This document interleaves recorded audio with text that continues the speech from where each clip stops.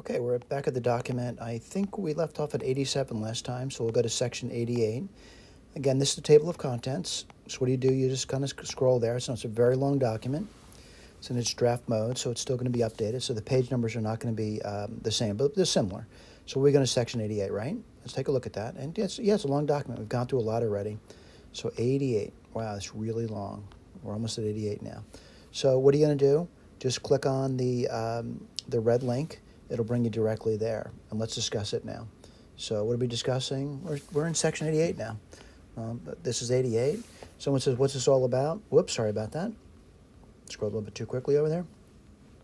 So what's this all about? It's about uh, my draft version. Uh, I'm Ron Bannon of Webster Wells's uh, Advanced Course in Algebra, and that dates back to 1904.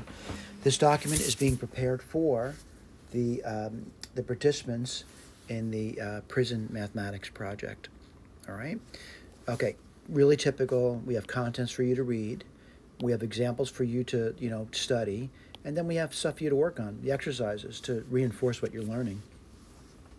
I realize other people may want access to the document. It's not published yet. When it is published, um, certainly I'll let people know that. In the meantime, if you need to reach out to me for whatever reason, my email address is Bannon, that's B as in boy, A N N O N us. All right. Now, certainly, I'm not going to read this section to you. It's a very short section, by the way. But the bottom line is they talk about, you know, if the degree of the numerator is equal to or greater than the denominator, you should basically long divide. So let's take a look. I'm going to go through the example for you. And certainly, I, we've been doing long division for a long time now. And if you think about it, you know, you've been doing long division since grade school. This is this is long division that might be a little bit easier to deal with. And let me see. I think I might have copied the problem wrong. Let me make sure that um, I think there might be a problem with the problem. Yeah, you know what? I copied it wrong. This is, um, and the reason for that, I want to point out what we're doing over here. We're doing this example here. And I just noticed I copied this wrong. So I got to redo the problem. This is x here. All right? So again, I have to cross this out. I'll correct it later. Whoops, sorry about that. And let's take a look. All right, so let's take a look at this. I'll do my division. Again, the degree of the top is 3. The degree of the bottom is a square. So the degree of the top is bigger than the bottom. So I'm going to do division. So x minus x. And when you get over here, you would get x cubed minus 3x squared. I'm going to put down 0x. You don't need to, but some students do. Uh, what do you do now? You, what, what times x squared would get x cubed? It would just be x, right? So what do you get? x times x squared is x cubed. Then you'd get, uh, let's see, minus x squared, right? You're going to subtract. When you subtract, what do you get? You're going to get minus 2x squared. Drop a place down, and that would be minus 1. If you want, you can put the 0x there if you like. All right, what do you do now? Match. How you do that? Minus 2. Well, minus 2 times x squared is minus 2x squared. That's a match. And then you going to get? You can get plus 2x. You're going to subtract. You get minus 2x minus 1. Let me write this down now. When I do that, again, I had to make a correction over here.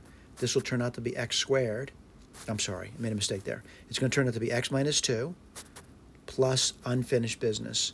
What's the unfinished business? Minus 2x minus 1. I didn't divide it by x squared minus x. What do you do now? Well, I'm going to rewrite it. I'm going to keep, you know, step by step.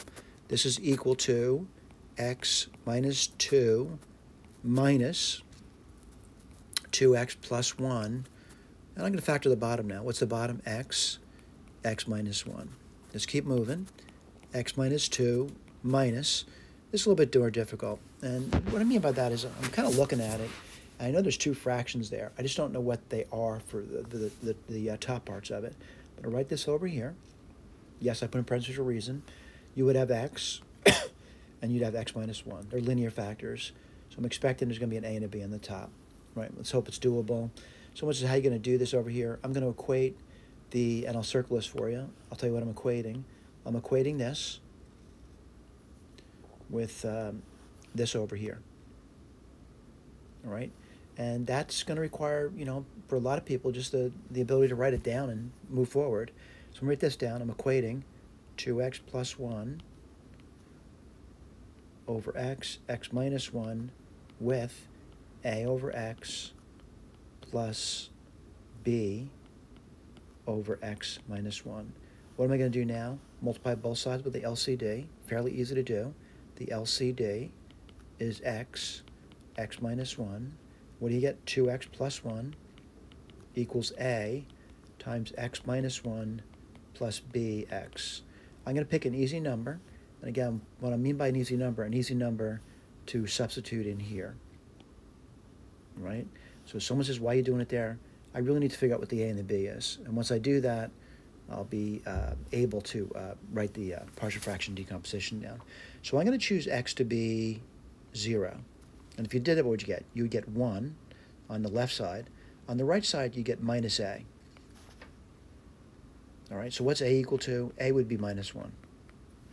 All right, I want to get the b now. How am I going to do that? I'm going to take x to be 1 now. What would you get?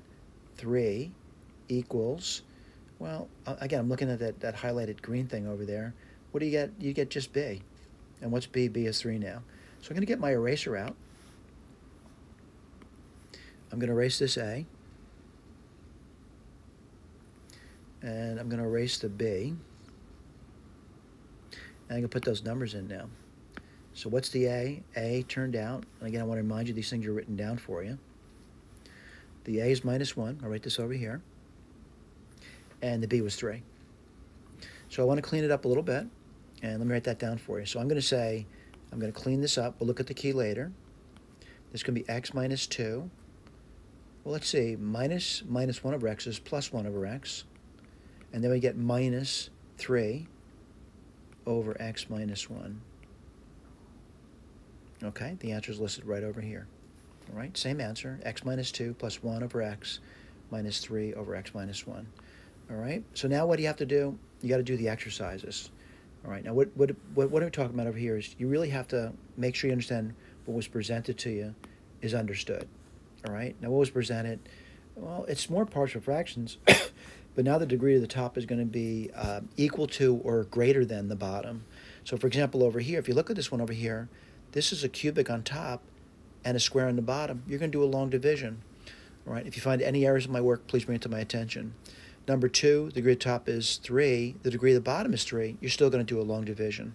Now, someone's going to say, you didn't put all the work down for these problems. And you're right, I didn't. But I could. So I'm going to claim over here is we do put down some partial work for you, but not all the work. If you need more work, let me know. Right? Like if you need me to write down the long divisions for you, I'll do that for you. All right? But some of these things tend to be kind of sparse in their content. But again, I do the partial fraction decomposition. Here's a degree 6 over a degree 4. Long division again, you're going to start. Degree 5 over degree 5, long division is called for again. Right, degree 6 over degree 4, long division is called for again.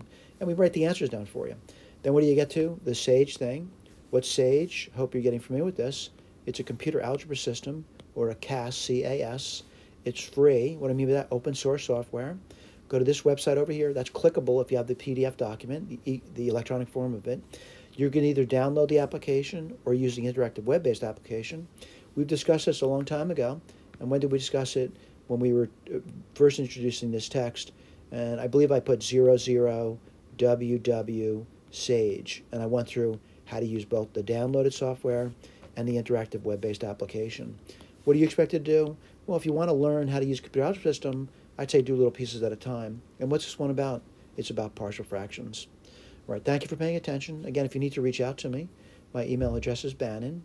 That's B as in boy, the at symbol, N-N-O-N dot U-S. Thank you.